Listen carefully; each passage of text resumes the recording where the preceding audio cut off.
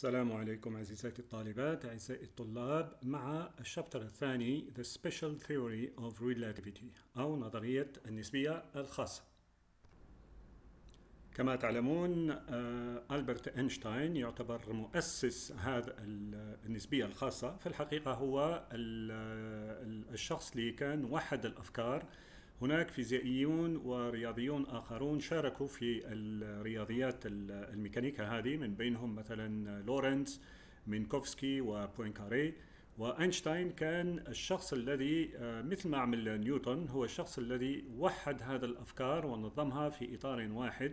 اذا بالفرضيات اللي سوف نتكلم عنها اللي هم ال postulates.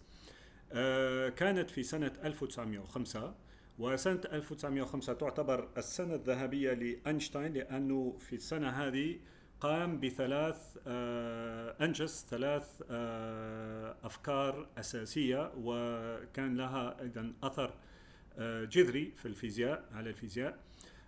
بالطبع ما ننساش أنه في سنة 1900 كانت الفكرة الأساسية للميكانيكا الكم من طرف بلانك. اذا إذا ما ننساش هذا السنة آه، سنة 1900 وفكرة ماكس بلانك. في سنة 1905 اذا أينشتاين أسس النسبية الخاصة اللي هي موضوع ال chapter هذا. وداخل النسبية الخاصة آه، هناك الفكرة الأساسية للتكافؤ ما بين الكتلة والطاقة.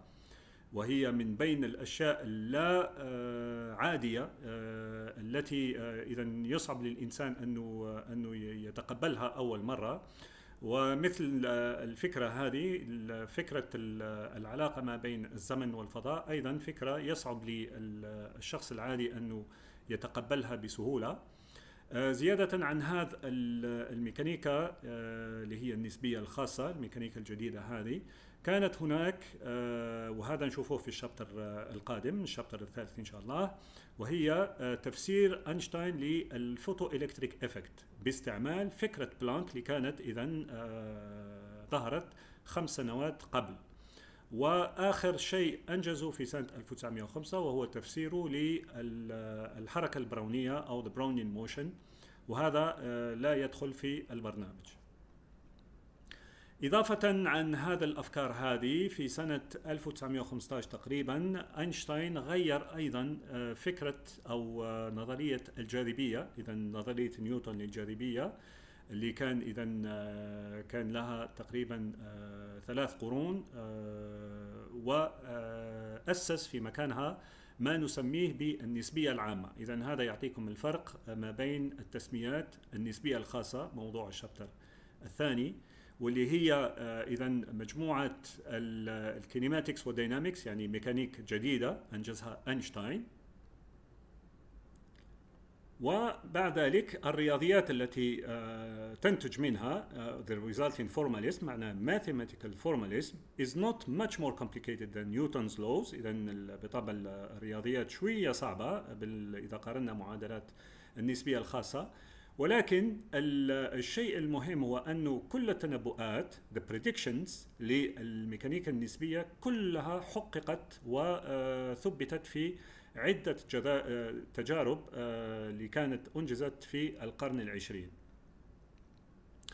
إذا في البداية في الشابتر هذا uh, we review the classical relativity of Galileo and Newton وخاصة uh, النسبية بمفهوم الفيزياء الكلاسيكية. النسبية ليست مفهوم جديد وإنما مفهوم قديم في الفيزياء. And then we show why Einstein proposed to replace it. إذا من بين الأشياء نشوف المشاكل اللي ظهرت في الفيزياء الكلاسيكية من جديد. We then discuss the mathematical aspects of special relativity وخاصة إذا الجانب ال kinematics وجانب ال dynamics. بين قوسين سوف نعالج جانب ال dynamics ليس باستعمال القوة وإنما باستعمال مبادئ الحفظ. إذا حفظ ال linear momentum وحفظ الطاقة. آه، من حيث الجانب هذا. آه، في الحقيقة آه، قانون نيوتن الثالث اللي هو القوة تساوي الكتلة مضروبة بال acceleration.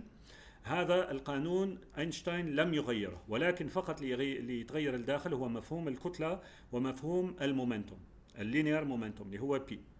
و uh, the predictions of the theory and finally the experimental tests ربما نتكلم عنها وجيزا uh, وليس بصورة مفصلة